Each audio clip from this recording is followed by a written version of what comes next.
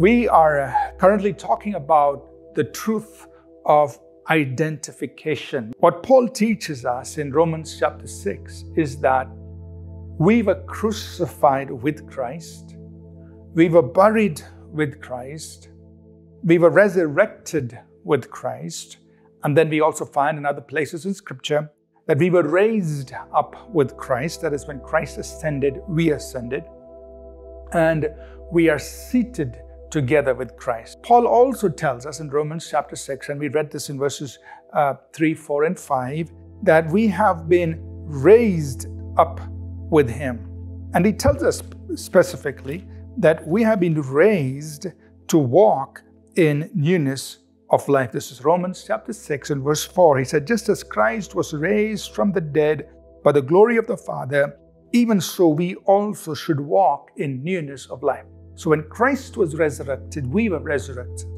And that is telling us that God has brought us in to a brand new life, a newness of life, a new way of living.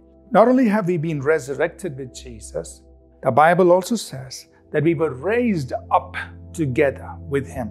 That means when Christ ascended, you and I ascended. To be raised up together with Christ means I've been taken out of the patterns and the systems of this world.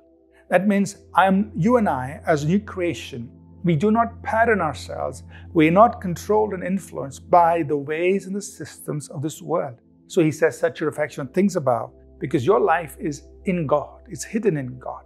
Our life is not under the influence of the world, because we've been taken out of that spiritually speaking. We've been taken out. We've ascended. We've been taken out of the what is in the world.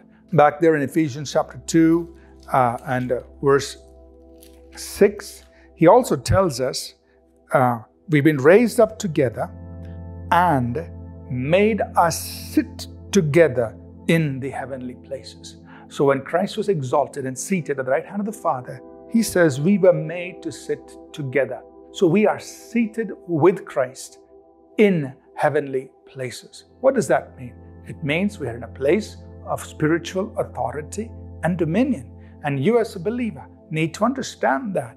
That's your rightful place in Christ. You are in a place of authority and dominion, and you can cause that authority and dominion to bear upon earthly life. God didn't put you there just for no purpose. The reason He has put us in Christ there is we can extend that authority and dominion here on earth. So let's put all of this together. We are crucified with Him, the power of sin is broken. We are buried with Him, the old life no longer controls us. We have been resurrected with Him. We've given a new way of living, a new way to live. We are raised up with Him. The systems of this world of evil and rebellion cannot control us or dominate us. We are seated with Him we are in a place of authority and dominion, a place of spiritual authority that we can exert here on earth. Now, how do we, what do we do with this truth? How do we live out of it? I'm going to touch on some of the things the Apostle Paul brings out for us in Romans 6. There are three key things that Paul teaches us. And I alluded to some of this last time, but I want to emphasize that, help us understand it. First of all, he says in Romans chapter 6, verse 6, he says, knowing this. So we must know the truth. He says, I want you to know, know this. Our old man was crucified. And then he talks about all the other things. So the first thing as a believer is you must know that you were crucified with Christ. That means the power of sin over you has been broken.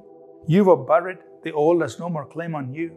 You've been resurrected with Jesus. That means you have a new way of life.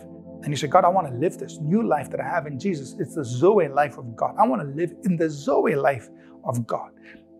You've been raised up with Christ. That means you've been taken out. The systems of this world, the systems of evil and rebellion don't have to dominate you.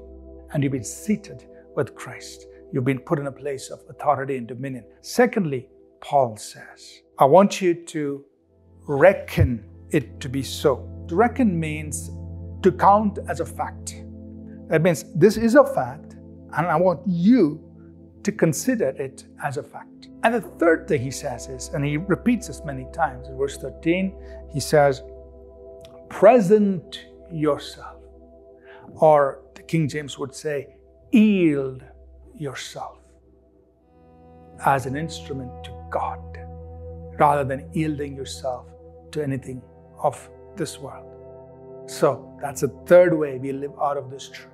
And so, this, in essence, if I want to put it in a very concise way, at the essence of Romans chapter 6 and the truth of identification.